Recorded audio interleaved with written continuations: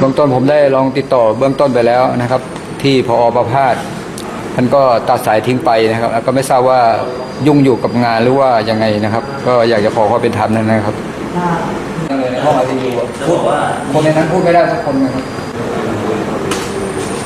เขาทำอะไรครับทุบกำหนัดทุบทุบเต็มที่แล้วอะผมพูดไม่ได้นะครับร้องโอ้ยได้เลยตอนนั้น พ่อหายใจพ่อชื่ออะไรครับพ่อชื่อดำเนินการยังไงนะตอนนี้มาเพื่อ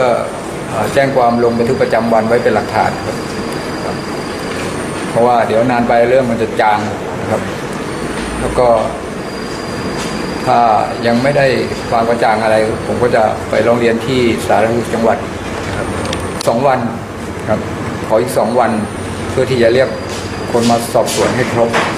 รับ ซึ่งมันก็มีไม่ไม่กี่คนหรอกครับหรือว่ามันใช้เวลาหลายวันแล้วเนี่ยมันห้าวันเข้าแล้วเนี่ยมันยัง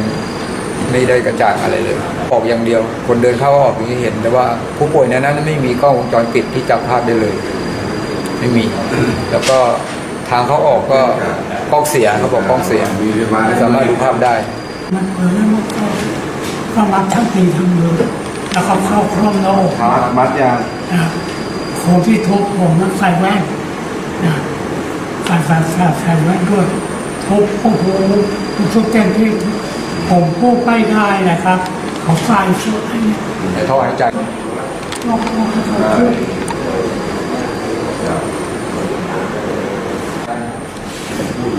พยาบาลทั้งนั้นก็ไม่มีผู้ชายเลยเอาไงลงเอาไงเอาคนที่ใส่แว่น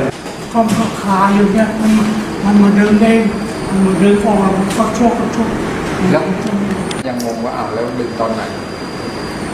มันคือก็พูดไม่ตรงคือผมถามเขาขั้นต้นเขาบอกว่าพ่อดึงออกเขาเขาก็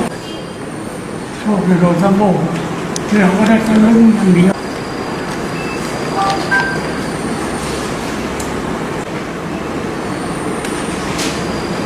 นะที่เขาที่อันนั้นเขาเรียกใช้ขยับขยื่น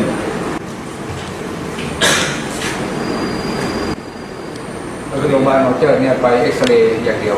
เนื่องแต่วันที่ถ่ายมันเป็นวันหยุดมันหยุดที่โรงพยาบาลของไม่มีแพทย์อ่านฟรีก็เลยไปถ่ายที่โรงพยาบาลหมอเจร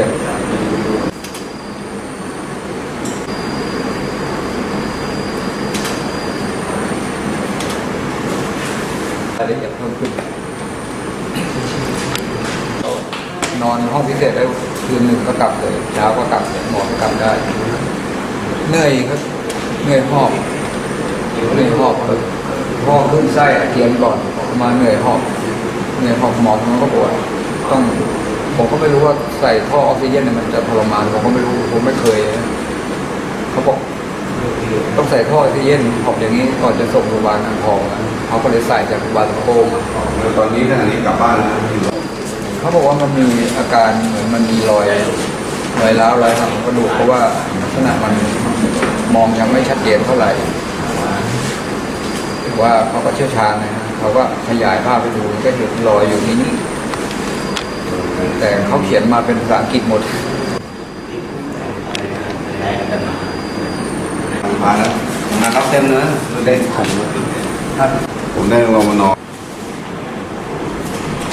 อ๋อแล้วถึงจะเอาใบน้ำ